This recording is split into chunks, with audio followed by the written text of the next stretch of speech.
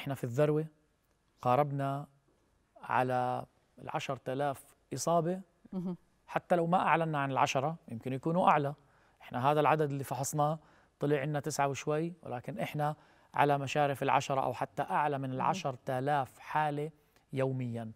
هاي الذروة بالنسبة لعدد السكان شو توقعاتك؟ لا ممكن يكون في ذروة ثانية لا سمح الله وأعلى.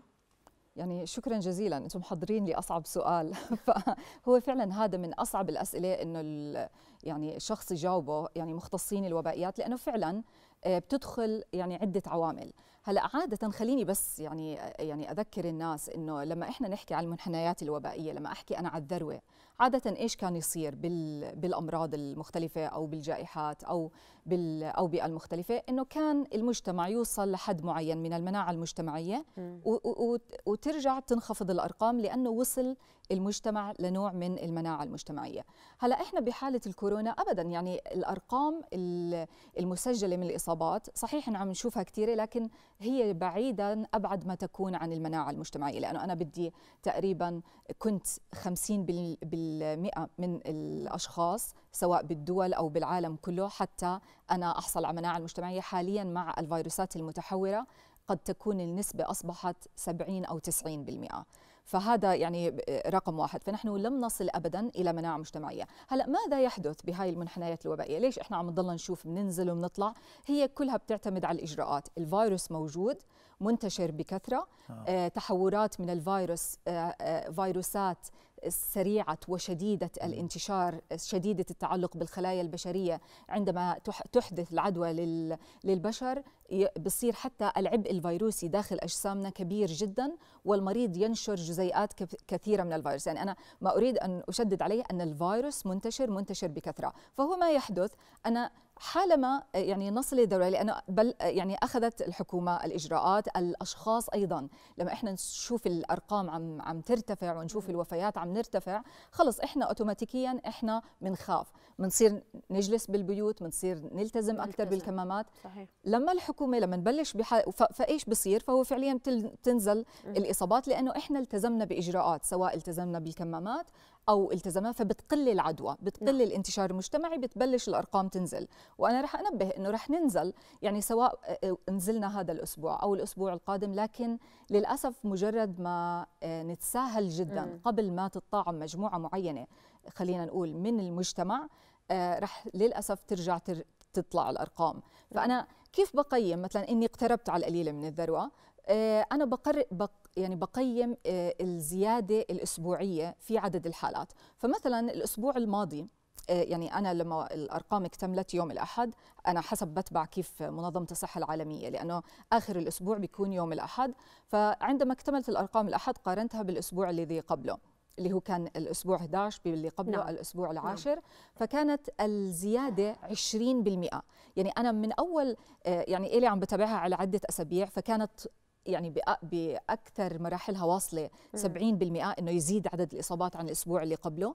فأنا خفت جدا لكن الأسبوعين اللي بعديه صاروا 30 30 هلأ الأسبوع القادم الماضي كانت الزيادة 20% نعم. أنا أتوقع يعني مش أتوقع هي معادلات رياضية لأنه في ناس لما أقول لهم أتوقع بفكر إنه أنا عم بنجم أو حسب دراساتنا طبعا. فبالضبط آه. حسب النماذج مم. الحسابية. وكان عندي ثلاث نماذج. يعني في أحد السيناريوهات إنه ممكن تنخفض وحسب الأرقام الأسبوعية المسجلة حتى الآن حسبت إنه ستكون الزيادة الأسبوعية أقل من 10% هذا فعلا مؤشر إيجابي جدا لأنه أنا من تل... من قبل أسبوعين 30% الأسبوع الماضي عم ينزل وهي نعم. الزياده لأنه في ناس بيفكروا إنه أنا عم بحكي تنازل لا آه. مش تناقص نعم. الأرقام هي, زيادة. هي الزيادة نعم. أقارن العدد آه. الكامل نعم. من مفهوم. الإصابات نعم. نعم نعم فهلأ وصلت 20 هلأ أنا أتوقع أن تصل هذا الأسبوع إن شاء الله 10% إذا وصلت 10% أنا أقول بقدر أقول لك بآخر الأسبوع نعم إحنا هلأ بالذروة لكن إحنا وصلنا هاي التناقص بسبب الإجراءات بسبب إذا أيوه. تساهلنا فجأة يعني أنا بقول لك الأسبوع الماضي ما بقدر أتنبأ لأنه فعلا اللي بيحتم هو التزامنا بالإجراءات مم. وعدم التساهل آه سواء أهم شيء إنه ما نعم. ما نتساهل حتى نعم. لما نشوف والتباعد الاجتماعي قلت 100% طيب اللقاحات هذا الشغل الشاغل آه عند الناس قديش مناعة الإنسان بتضلها مستمرة مع اللقاحات مع المتحور هذا الفيروس الجنوب إفريقي الفيروس الفرنسي ما بيشوفوا الجسم مناعة الجسم ما بتتعرف عليه وإلى آخره من هذا الموضوع لكن اللقاحات الآن متوفرة نعم. من مختلف الشركات التي أطلقت قديش مدة فعالية هذا اللقاح ست أشهر سنة. سنتين ولا الدراسات ما تزال مستمرة بحسب نوع اللقاح اللي عم بتلقاه الشخص. هو بالضبط الجواب يعني أنت ذكرتيه في جملة جملة وهو فعلا إنه ما ما نزال نقيم هذه مم. الأمور لأنه لم تمضي يعني فترة كاملة. يعني معظم الدراسات السريرية يعني خلينا نقول آه، بلشت آه، يعني أعطتنا نتائج أولية في شهر 12 من السنة الماضية. وأعداد أكبر من الناس بلشت تاخذها يعني مع بداية. العام. فنحن بحاجة يعني إلى أن نقيم عدد كبير لأنه ممكن تكون في اختلافات بين الشعوب ممكن تكون في اختلافات جوا البلد الواحد بسبب إنه عندهم استعدادات وراثيه مختلفة لكن كمان بتختلف حسب المطعوم. فمثلا إذا بدي أبلش حسب التكنولوجيا خليني بعيدا عن التصنيفات المختلفه إذا كان المطعوم مثلا آه، محضر بطريقة الفيروس المقتول. عادة هذه المطاعيم لن تعطينا رد مناعي قوي. ليش؟ وخصوصا أنا وما بصير كمان للأسف بشوف كثير من الخبراء بيقارنوا تقنية الفيروس المقتول بالكورونا مع مثلا الإنفلونزا. هذا مختلف تماما لأن طبيعة تركيب فيروس الكورونا مختلف عن الإنفلونزا. الإنفلونزا يعطي رد مناعي قوي. حتى لو قتلته أنا بضل يعطي رد مناعي قوي لأنه تركيبة البروتينات هي متقاربة. فالجسم بحس إنه في بروتينات يعني آه، تركيز عالي من البروتينات الغريبة بيعمل رد مناعي قوي. ال corona viruses بنعرف إحنا ال spike protein الاشواك أشواك متباعدة وفي مسافات معينة بدرسها يعني علماء الفيروسات. هذا السبب أنه حتى الفيروس نفسه لو دخل على جسمك ما بتحصل مناعة قوية جدا.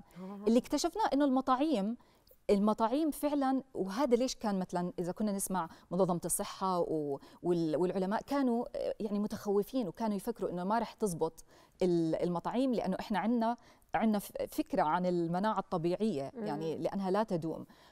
ففعلا كانت المطاعيم نجاح وقالوا إذا بنجح المطعوم أكثر من 50% أو 60% هذا نجاح آه، جدا كبير.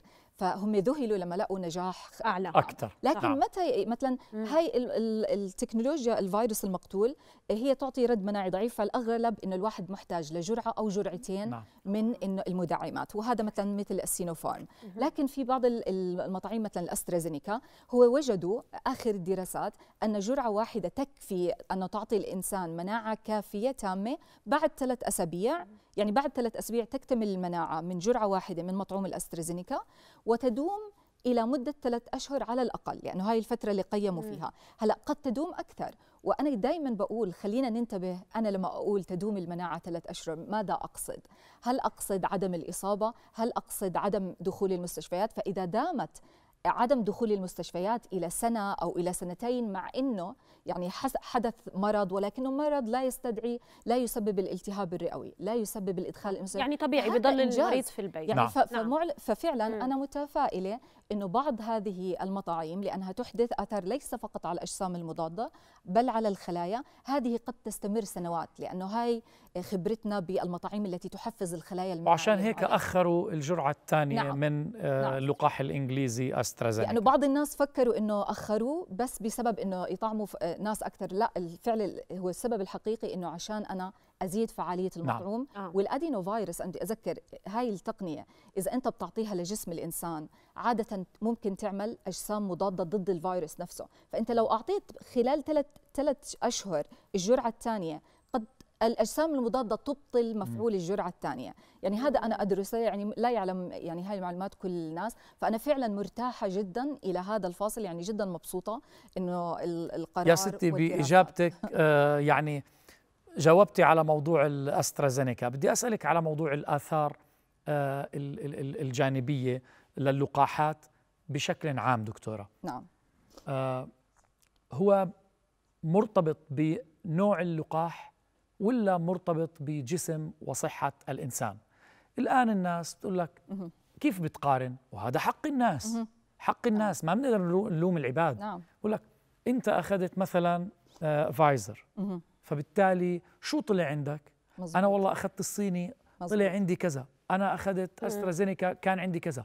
تبدأ العباد إنها تعمل المقارنات الآثار الجانبية على نوع اللقاح. نعم. فهون السؤال الآثار الجانبية لها علاقة في نوع اللقاح ولا لها علاقة في جسم بنية جينات صحة الإنسان؟ آه الاثنين معا. فهذا الجواب إنه لها علاقة بالاثنين معا. فمثلا كيف آه طبيعة اللقاح. فمثلا آه، آه، خليني أقارن الأسترازينيكا ونحكي للناس شو رح يصير بالجرعة الأولى ولما ياخذوا الجرعة الثانية. عادة التقنيات اللي مستعملة إنه تستعمل تقنية الفيروس الناقل آه، مثلا تكون الأعراض الجانبية في الجرعة الأولى أكبر كثير من الجرعة الثانية. فهلا بدي الناس اللي ممكن شوي حصلت عندهم بعض الأعراض الجانبية وخافوا رح أبشرهم إنه الجرعة الثانية بأسترازينيكا رح تكون أخف.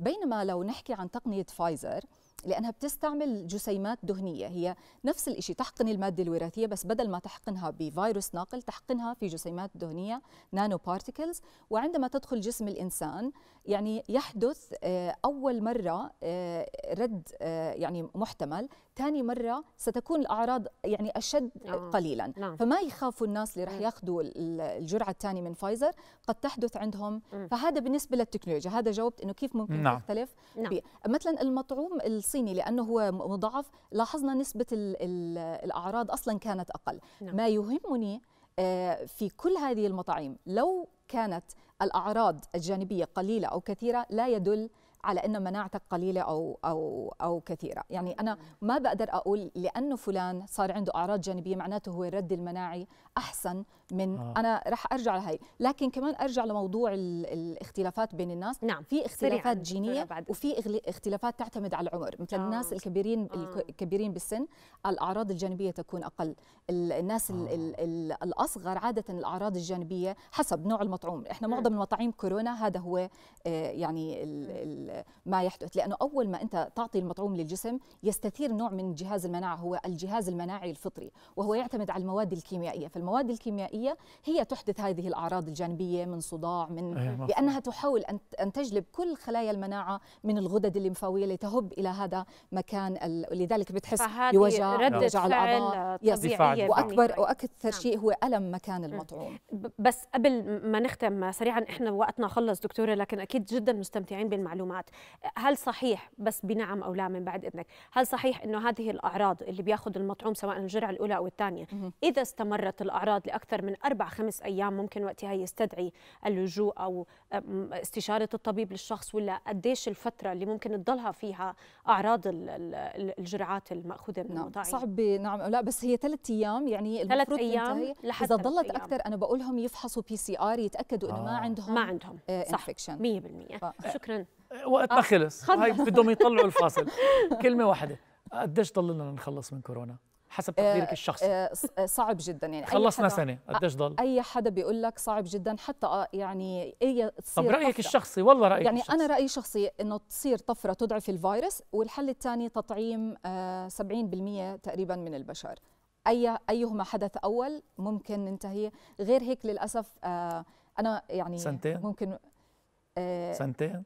سنتين أنا آه، صعب جدا أقول لأنه هذا الفيروس منتشر ليس فقط في الإنسان والح... إلا وكذلك يعني الحيوان. خلص فعلينا إحنا كل واحد بيجينا بنسأل نفس الشيء هذا واضح إنه هذا أسلوب حياة لازم نتعايش نعم معه نعم. ولازم يعني لكن أملنا أملنا برب العالمين كبير ونتمنى إن يكون بالصيف يا لكن رب.